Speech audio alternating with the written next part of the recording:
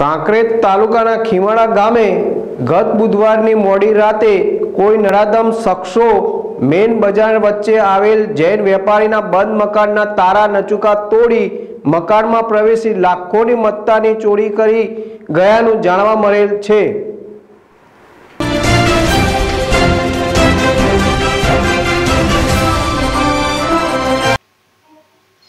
પ્રાપ્ત વિગત અનુસાર કાંકરેજ તાલુકાના ખીમાળા ગામે જૈન વેપારી શાહ રવિચંદ્રભાઈ ચિમનલાલથી જેઓ ગામમાં પોતાના મકાનમાં કરિયાણાની હોલસેલની દુકાન તેમજ ધિરાણ કરતા હતા.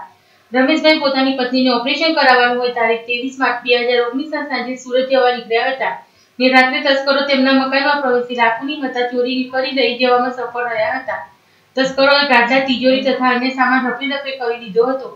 વહેલી સવારે તેમના આજુબાજુના પડોશીઓને જાણ થતા રમેશભાઈને જાણ કરેલ જૈન પરિવાર જાણ થતા સુરતથી પાછા ફરી તેમના ઘરની તપાસ કરતા રોકડ રકમ, દાન દાગીના એલસીડી કુલ મળીને વીસ લાખ સાહીઠ હજાર ચોરી થઈ હોવાનું સિહોરી પોલીસ સ્ટેશનમાં ગુનો રજિસ્ટર નંબર પંદર બે હજાર ઓગણીસ દાખલ કરવામાં આવે છે.